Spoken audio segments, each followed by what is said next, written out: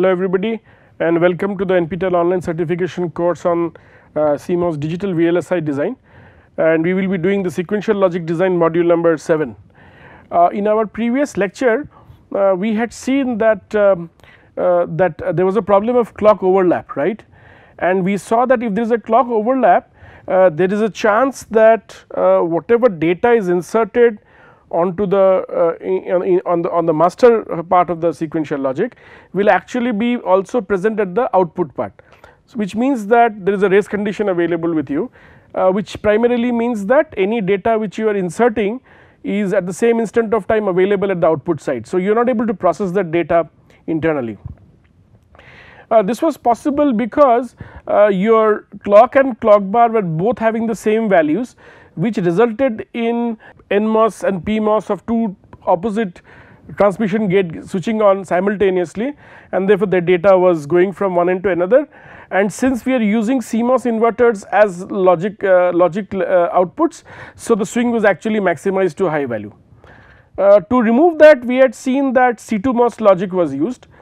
Now the C2MOS logic was uh, such that that even if there was a clock overlap there was no way in which uh, there is a short circuit path between the output and the ground and therefore the logic was actually stored uh, at the output even if there is a clock overlap available right. So this we have already learned through our uh, extensive uh, uh, extensive lectures uh, in the previous turn. Now what we will do is basically look into the fact of um, dual edge triggered. So, till now we were actually looking at edge triggering happening at only one side which means that if you have a clock and the clock is this like this which is giving me a fixed value then if it is a positive edge triggered clock then during the rising edge of the clock which is this or this or this you are able to sample the data. So, the data was getting sampled exactly at the rising edge of the clock right and the sampling was there provided you had you do not violate the setup time and hold time violations. So, the next sampling will take place here right and the next sampling will take place here the third sampling will take place suppose let us suppose here and so on and so forth right. So, what, what does it tell me therefore is that apart from setup time and hold time constraints uh, the frequency of the output is actually being governed by only these clock edges which is basically the cleft uh, the rising clock edges. Now if I have a, a shift register based design allows me to to sample the data in both the rising as well as at the falling edges right. So this is the rising edge right and this is basically your falling edge right this is your falling edge. So if I am able to sample my data in both the edges uh, the frequency will double itself the output frequency will double itself for sampling the system. So that was the reason why people have used uh, dual edge trigger design which you see in front of you. As I discussed with you in the previous turn uh, let us suppose your clock is uh, clock is basically uh, high then M2 will be on and clock bar is low which primarily means M3 will be on and therefore this set will be transparent and a mod x will be therefore equals to d bar which will be stored here. But if my if you see if your clock is this is so so what is happening in the first case is let me give you an idea that if clock is equals to 0 right let me let me again come back if clock equals to 1 then clock bar will be equals to if clock equals to 1 if clock bar therefore equals to 0 this will imply that that this this first register which you see in front of you right will be transparent because this will be on. So, M3 and M2 will be on. So, this will be on right and this will be also on. As a result uh, whatever the value of D will be available at X with a uh, inverted form because M4 and M, M1 and M4 form an inverted pair right. So, M1 and M4, M1 and M4 form an inverter. This will result in what X becoming equals to D bar right with x becoming equals to d bar but you see I have just not taken clock to be equals to 0 and clock, clock to be equals to 1 and clock bar equals to 0. So when clock equals to 1 then M7 and M8 are off state M7 and M6 right are in off state which which means that the effective uh, circuitry if you look at the at the uh, at the output side you will you will have this something like this and something like this. So this will be M8 and this will be actually your M5 this will be M5 and this will be connected like this. So, you will have D connected like this in this manner, but since your middle data middle uh, path is not there you will have uh, the output uh, your x will always have a fix. So, so basically your q uh, will hold the previous data whatever the data is right and uh, to best the best to form is that if you can put in the q one two inverters connected back to back this will also ensure to me that there is always uh, you will always be storing the data over, over, over the period of time assuming that there are no leakage paths available to you right. So, if there are no leakage path uh, in the system then I could safely assume that any data stored at node q uh, will store the data as long you have a feedback path available to you. So, generally what people do to do that that at output q uh, this is let us suppose output q they put two cross coupled inverters in this manner right right with appropriate W by L ratios. This ensures to me that whatever the value of Q is is actually available to me that value same value is stored here. So, this becomes Q bar this comes out in Q. So, the same value is stored it is recharged time and again and since this is static CMOS uh, implementation it will either go to VDD or to ground depending upon whether the input value is above the switching threshold or below switching threshold respectively. Now so what does it what does it what does it tell me therefore? That now what has the what has happened? With the condition that clock equals to 1 and clock bar equals to 0 our eh, our uh, this uh, this transistor M5 to M8 transistors they are all uh, they are all uh, not coming into picture. And therefore Q actually stores the original value of data. Similarly, uh, what will happen is when your clock and clock bar so what I am trying to tell you is that I can just replace this right into this fact I, can just remove this part and replace it by this. So, what will happen is in that case your D will be transparent uh, your D will be transparent why because when clock goes to so what I was using was when clock was 1 let me say clock was equals to 0.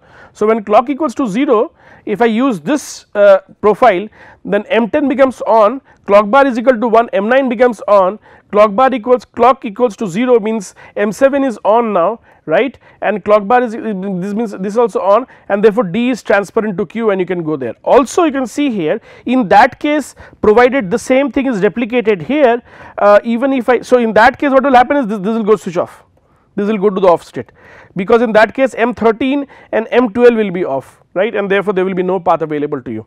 So what I am trying to tell you therefore is that if your design is such that that you do have a clock here and a, and a clock inverted register here then I will be able to store the data at point q in a much more easier fashion and I can also make it transparent. So, in the next clock cycle whatever the value of x is stored here will be transported to q right and that is the reason uh, we get this type of uh, what is known as a uh, so this thing. So, so you see both in the positive edge triggered when the clock when the clock is going from 0 to 1 and as well as from 1 to 0 when the negative edge triggered in both the cases the data D is actually being uh, going to clock q. In the first phase when when when the clock is equals to 0 when the clock is equal to 0 and suppose it is going from 0 it was initially 0 then clock 0 implies that uh, this will be on right and uh, clock 0 will m, m, m10 and m, uh, m m9 will be on and therefore this d will have this path available to it right.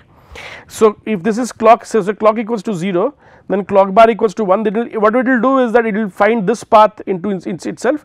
When clock goes 1 and 1 to 0 then when clock equals to 1 then M2 is on M3 is uh, on and therefore data D will be transparent and going to capital Q fine.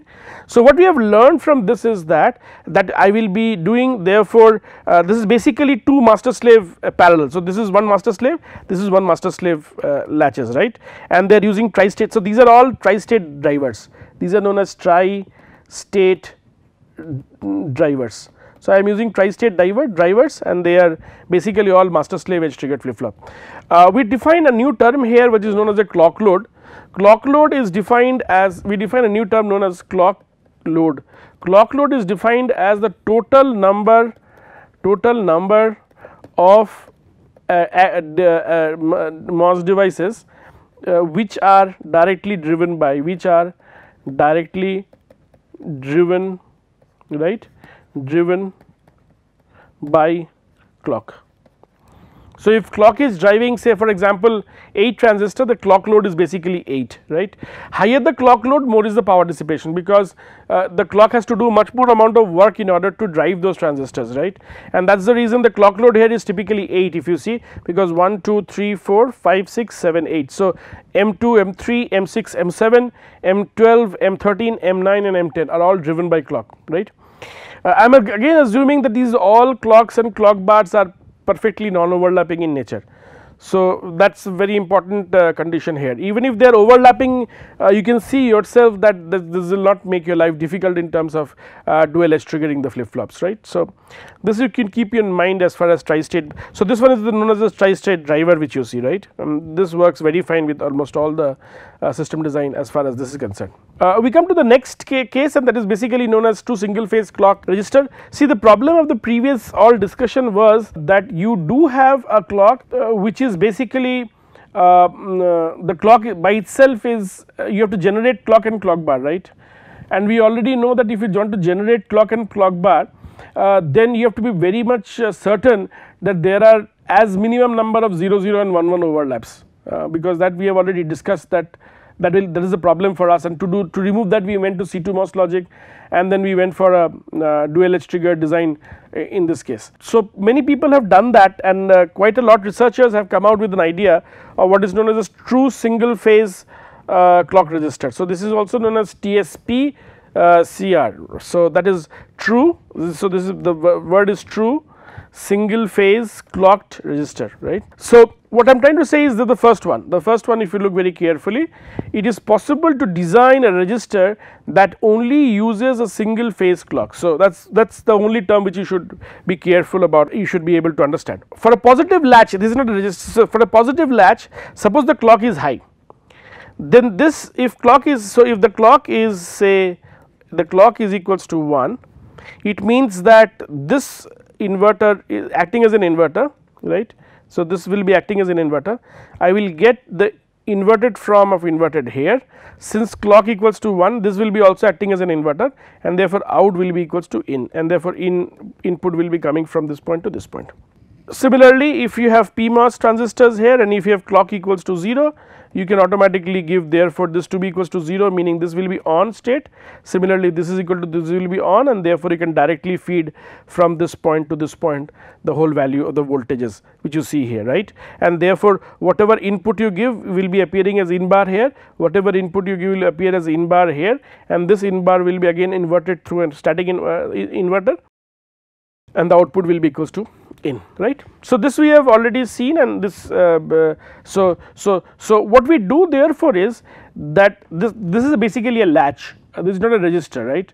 So, this is not an edge triggered design it is basically a latch where I am I am I am assuming that at high clock frequencies or at high values of clock uh, or input clock my data will be able to sample the system will be able to sample my input data and store it in the output for in at any point of time. Uh, why is it important because then if you want to store a data and the problem is I discussed with you earlier also that there are chances that the data might get corrupted by virtue of its leaking. So, there will be a leakage current because of subthreshold leakage and so on and so forth. So, you need to periodically refresh the data at the output node and therefore this clocks helps you to do that and gives you two cascaded inverters and they give you a pretty proper uh, output available to you. As I discussed with you therefore that the clock load in such a case is just 2 and I am with, these two uh, clock load of 2 I am able to therefore have these type of profile. Now if I want to therefore uh, construct want to construct a register I just need to cascade uh, one positive and one negative latch. So that is what is written here that so so when so so you see if you cascade this uh, this uh, this one so what i am trying to tell you is that if you have a if you have a positive latch right and you cascade that with a negative latch negative latch then when you have input here d uh, again the same concept exactly the previous cases that in the positive latch when when the rising edge of the clock or when it is clock equals to 1 D will be appearing here, but at that point this will not work because this is negative latch right and therefore this will stop here. Now when the, in the in when it has fallen the clock has fallen down this will become transparent this will become off and therefore the D will be available to you at the output side right. So I can actually cascade one positive and one negative latch and using TSPC and then uh, make it what is known as a, a register right a basically a clock register. And that problem is that uh, whenever you look at these two figures wherein you have one clock one positive latch and one negative latch uh, driving an NMOS logic is relatively easier as compared to driving a PMOS logic and the reason being PMOS logics are basically holes of the carriers and therefore the mobility is typically much much smaller right and hence uh, driving a PMOS logic is rather more difficult as compared to driving an NMOS logic. Uh, which what does it therefore tell me that uh, if you have an NMOS logic which is there in the positive latch I can easily drive it from on to off state and vice versa and therefore your switching times will be very very small right and you have to be very cautious about this. This is the first very important point which you should know. The second important point is that the clock rise time and fall time should be approximately should be very very low right your rise time and fall time should be very very low. I will give an example let us suppose your clock rise time is not very low it is typically very high like the rise the rise time is um, is something like this I do not have a I can, I can, I can show it to you say the rise time is one is rise time like this another is rise time like this. So, I have a typically large rise time here right. Now, if the rise time is large then please understand what will happen in a latch case. If you allow therefore the clock to rise uh, for a larger duration of time then you are allowing the data to be sampled even when the rising edge of the clock is available to you right and therefore you will be violating the setup time uh, here if you have a very very if you do not have a very very sharp uh, uh, input edge right. So, your, your input edge should be as sharp as possible. Typical industry regulation is that uh, your your clock uh, your clock should be approximately 5 times more speed as compared to the input data that is the industry standard which people try to which try to follow in this case. Uh, so, we have discussed that point and we have also seen that we can cascade a positive and negative latch to obtain a uh, TSPCR uh, logic available to me. So, what people did was and that that is quite interesting is that they found out that uh, I can actually see we remember when we are doing static CMOS logic uh, we told you that uh, I can I can insert NAND gate, NOR gate, XOR gate and I can embed logic within the uh, within the system itself. How did I do that? I made NMOS logic, PMOS logic sorry you made NMOS logic depending upon the boolean expression available to you and once you have done that uh, just the complementary of that will be your PMOS logic in the pull up network. So, all your parallel networks in the in the pull down will become series networks in the pull up and all series networks in pull down become parallel network in pull up right and with this we were able to formulate a boolean expression. Exactly the same thing you can do it in the latch as well. So, you can embed uh, logic functionality in the latch itself and how do you do that is something like this I can show it to you. For example, you you do have a you do have a um, uh, this is suppose your latch right. So, this is one of your latch which is basically a negative latch and then you put input here and then depending upon the value of PUN suppose clock is equals to high, uh, is high which means that this will be shorted and therefore this will act as an inverter and in value will have an in minus or whatever uh, depending upon the value of the uh, upon the upon the logic gate uh, some value will be uh, stored here right.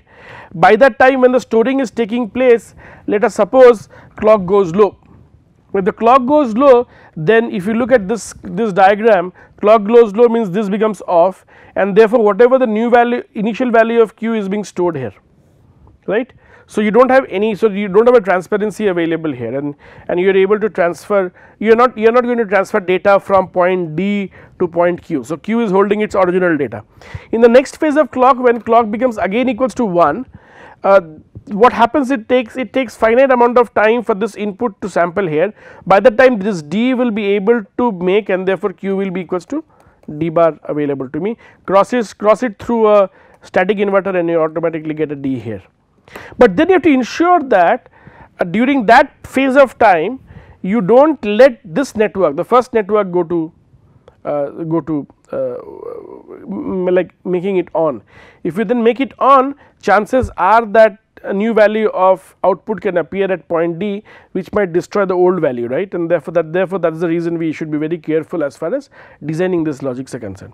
If you look at uh, the right hand side which is basically an AND latch then if you look very carefully uh, in 1 in 2 are in uh, series and in 1 in 2 are in parallel here. So, let us suppose I have got in 1 equals to 1 in 2 equals to, to 1 then you will have at clock equals to 1 at clock equals to 1 if my in in equals to 1 and in 1 equals to 1 in 2 equals to 1 then this network is activated and this will fall to 0 if this is 0 if clock is equals to high then q will be always equals to 1 available to you fine. So, I will have 1 1 I will have 1 available here fine.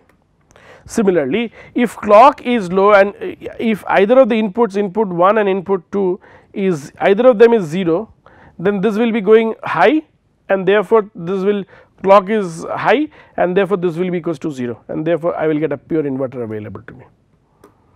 I think I, I made it clear what is happening in this case that you do have a you do have a, a logic functionality embedded here. I can have an NAND gate, NOR gate, I can have an exclusive OR gate all embedded in the system right.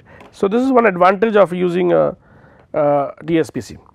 Uh, if you look very carefully uh, another methodology which people have been adopting is that if you look at this is the positive latch the first one is a positive latch right uh, and it and the second one is a pure inverter where I am feeding for example if clock equals to high right if the clock is high then this these two will be shorted and therefore I will have out equals to in bar right I will have out equals to in bar if in if this is not shorted and it is open then the original value of out will be stored here available here right.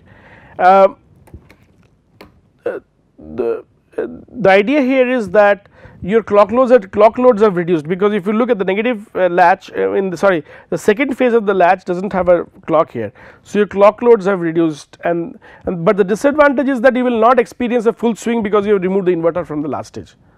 So, that, that peak to peak swing will not be available to you in this case right that is the basic issue. Negative latch you can understand here again when clock equals to 0 only you will have this to be on and then you will have this A will be equals to in bar and if these two, two are shorted in A, A bar will go to this and it will out, out you will get as A right.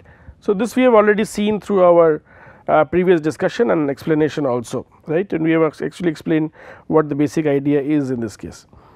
Uh, there uh, we will finish this whole topic by using uh, two register styles here and the first is a pulse register style. Uh, so, I have been using till now a master slave configuration which means that you are the master which was sampling the data, storing it and the slave was responsible for transferring the data to the output world when the master was switched off. So, at no point in time you had direct contact between uh, between input and output. Now, there is also an another method by which we say that uh, which is known as a pulse register method by which we can do the same thing as we are doing in clock register, but only thing is the configuration is slightly changed. I will, I will like you to see this fundamental uh, work here which is basically if you look at this particular point. So, let us suppose that um, my clock was equals to let us say 0 right. So, 0 means this is an AND gate right. So, this will be obviously 0 this will be 1 this will be 0. So, clock so, if it CLK equals to 0, CLKG will also be equals to 0. This will switch off MN. So, MN will be off state right MN will be off. When MN, MN, MN is off uh, and your MP is on X will hold equals to VDD right? Is it okay? Because this is equals to 0 and therefore clock equals to 0 uh, your MP will be on. Any VDD will appear at X and therefore X will be equals to VDD right? It will be true. But when clock goes from 0 to 1 right there is a finite period of time when both the clocks might overlap. And as a result what might happen is quite interesting that when clock goes from 0 to 1 right? It goes to 1 let us suppose it goes to 1 here. It is this is 0 0 to 1 means this will cut off right? Uh, this will mean that this x value uh, which is uh, which is at this particular point will uh, go to 0 when the clock pulse has passed, but there will be a finite duration of time when both the clock and clock g will be high which is you see here right? And therefore both clock and clock G uh, will be high. This is also known as a glitch clock right. So, this this is basically output is basically known as a glitch clock. Why? Because that if therefore what is initially equals to 1 so 0 to 1 it goes right but suppose this MP is switched on and X was initially it will take some time to go to 0 and therefore this is actually equals to 1. So 1 1 will give you 1 this will give you 0 give you 1 Mn will be on Mn on means you will try to uh, your remove the potential at node x right but when it tries to remove the potential at node x already your job has been done. And therefore even if the value of voltage at node x falls down you are not really worried about it. You have already extracted the voltage at the output side and your clock G has already gone high. And it will remain like there because you have inverted current at node available to you. Fine. This is basically the positive edge triggered because and I will tell you the reason why is it what why is it a positive edge triggered design and the reason can be seen from this figure which you see in front of you. So if you look very carefully uh, the glitch clock is actually shifted from where from the clock and the reason being uh, the clock has to travel through one AND gate one AND gate right and two inverters I1 and I2. So the total delay for the uh, gate to actually evaluate node x signal to Mn will be actually the sum of the delays of AND gate uh, and two inverters here right? And based on this Mn will be either switched on after a certain period of time which is determined by this total sum of the delays of these three elements right? And then uh, so so so what I am trying to tell you is the sampling is done at a very very small window. And this window opening is governed by the delays of these three uh, basic elements. So, the combination of glitch free or glitch generation circuitry which is this much and the latch which is this much will result in a positive edge triggered latch right. So, think about it how is it possible, but that is what it is done that you generally can, can, can replace a positive edge triggered uh, edge triggered design by this latch and its corresponding uh, glitch generation circuitry right. Again the cost you pay for it is basically higher power dissipation uh, because you are you are intentionally putting glitch into consideration and therefore the power dissipation levels are relatively very high right. Okay. Another version of pulse register is shown, shown here. So, when let us suppose uh, uh, let us suppose when clock equals to 0 maybe I do have a slide okay when clock equals to 0 uh, then M3 and M6 are off right uh, this P1 is on and therefore x is evaluated to VDD. x is evaluated to VDD means this this this point is basically equals to VDD right. This point VDD primarily meaning that P3 is in the off state fine and as a result when P3 is in the off state the clock equals to 0 I end up having uh, nothing is happening here. So, so whatever the initial value of Q will be stored by this cross coupled inverter which is placed here and it will store the data properly that is all. Let us suppose clock so, so moreover when clock was equals to 0 so this was 0 this will come here this will be 1 0 1 which means that M1 will be switched on and M4 will be switched on right at uh, when clock goes from uh, goes goes it was initially 0 and goes to 0. So, M, M1 and M4 will be switched on as a result M2 will switch on or switch off depending upon the value of D, but surely these inverters will get switched on. So, let us let me name as I1, I2 and I3 and, and let us suppose transistor M1 and M4. So, the, all these 4 will get switched on very heavily because it sees a large voltage at the gate side of M3 and M4. Once this happens you might have a shorting of this voltage across this arm right. No data will be lost, but there will be shorting of voltage available here. When D is equals to let us suppose low then this P2 becomes on right? And therefore any voltage available at this point is going to the ground via this P2 voltage right and that is the reason you lose voltages at certain point of time to make it more robust. Uh, similarly if D equals to 1 nothing will happen and therefore M M2 will be switched on but in for previous case M2 was switched off right and therefore this is directly connected to VDD in this case right. So this we have finished as far as understanding the basic pulse register is concerned basic idea of pulse register. Uh, what we will do in the next uh, module is uh, look into the various aspects of this pulse register and then once we have once we have done that we will actually discuss the uh, last part of the stock and that is basically sense amplifier based shift register and we will recapitulate what we have done till now fine. With this I will just take a break and thank you very much.